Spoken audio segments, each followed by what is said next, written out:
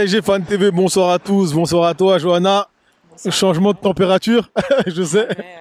Tu es qatarienne maintenant. Tout à fait. Euh, c'est le dernier match de l'année civile, surtout au parc.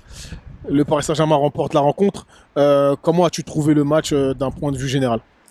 Euh, D'un point de vue général, on va dire que je vais retenir les trois points. D'un point de vue dans le jeu, euh, je suis un peu déçue de la performance des Parisiens euh, en fin de première mi-temps et au début de deuxième mi-temps. Et je suis encore plus déçue de l'arbitrage. Il faudra qu'on m'explique les règles de, de laisser un avantage et de ne pas siffler trop vite, parce que Turpin a, a empêché Marquinhos d'être euh, troisième buteur du match, parce qu'il y a quand même un CSC. Euh, et au final, on se dit qu'est-ce qui serait passé si la VAR n'aurait pas accordé le penalty? Qu'est-ce qui serait passé si euh, Kylian n'aurait pas mis ce penalty? Est-ce qu'on aurait gagné 2-1 Ça, avec des si, on pourrait, euh, on pourrait changer l'histoire.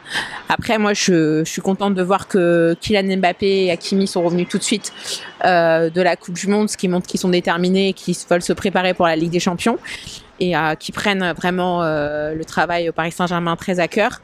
Et euh, ça fait plaisir de voir Hakimi qui a pu tenir, euh, non pas Hakimi, mais euh, Kylian Mbappé qui a pu tenir 90 minutes et de voir Hakimi qui rentre euh, sur le terrain. J'ai bien aimé les changements, j'aurais peut-être pu faire un peu plus tôt. Euh, justement, on, Sarabia, Solaire. Sarabia et Solaire, ouais. J'ai bien aimé euh, leur entrée. Ça, ça a un peu changé euh, le jeu parce qu'on savait qu'on souffrait à 10.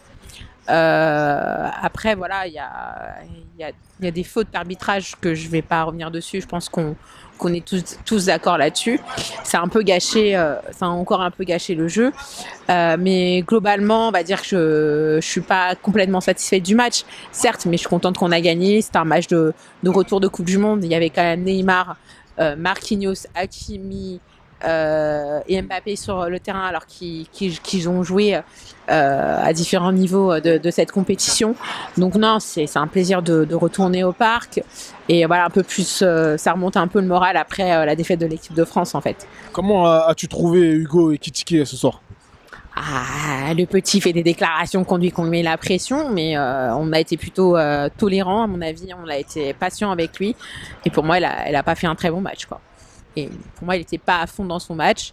Euh, je sais pas, peut-être, euh, je sais pas ce qui. Je crois que c'est l'une de ses rares premières euh, titularisations, je crois. Oui, oui, il a, il a déjà été titularisé cette, cette saison, mais euh, effectivement, il, le- il, il le sera peut-être euh, le week-end prochain, la face à Lens. En vue de sa performance, moi, si j'étais coach, je rem- je, je le remettrais pas. Euh, justement, euh, c'est important de, de faire travailler la concurrence.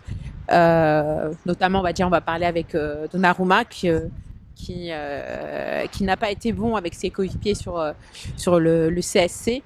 Euh, on a deux excellents gardiens, dont un de classe mondiale qui est Killor. Euh, je serais plus confiante en Ligue des Champions si c'était Navas qui serait au cage. Donc, il faudrait peut-être donner un peu de temps de jeu à Navas. C'est bien d'avoir un classement de hiérarchie au niveau des gardiens.